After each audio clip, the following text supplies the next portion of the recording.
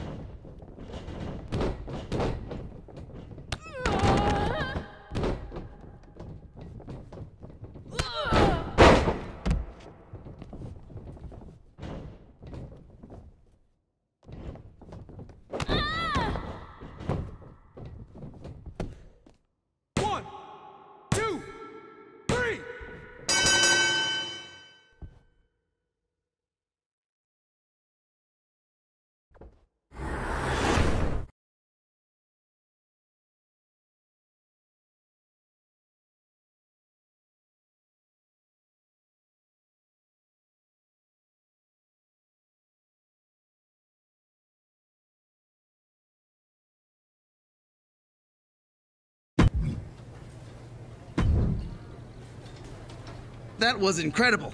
I knew you had that certain je ne sais quoi this picture needed. I kind of have no idea what we're actually doing, but your enthusiasm is infectious. Exactly. Now let's get you ready for your next big scene. The monster, grrr, absolutely decimates a zombie makeup artist backstage. You up for the task? As ready as I'll ever be to transform into a zombie killing monster. Then let's get this show on the road and call action. No, seriously, let's go. I don't want to have to pay the crew for overtime and second meal.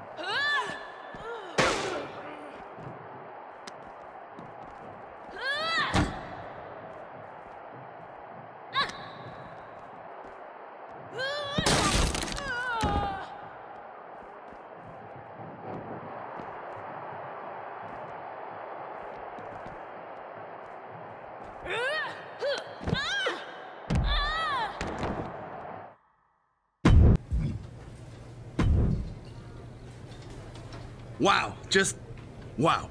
I've been on the phone with my publicist all morning talking about our award season campaign. You're a shoo-in for Best Actress. You really think so? Does moss grow on an albino Tibetan tree frog? Um, I don't know. You bet it does. All right, it's finally time. The Piece de Resistance. The climactic final battle. The last stand, where the monster, you, meets her ultimate demise against our half-centaur, half-satyr hero. Wait, I have to lose? Of course!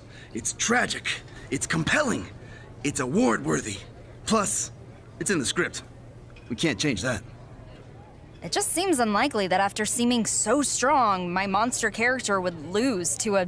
wh- What did you say? Half satyr, half centaur? What is that anyway? A horse goat? Or just a. a person? Listen, there's no time for rewrites. We've already packed a crowd full of extras, and they're rapidly eating through our crafty budget. Don't mess this up. You've got to lose this climactic wrestling horror last man standing match. Just let the other mocap actor knock you out for 10 seconds. Easiest 100 bucks you'll ever make. Wait, did you say 100 as in 100? Never mind. We'll deal with that later. And don't worry, I'll make sure that someone's knocked out for 10 seconds.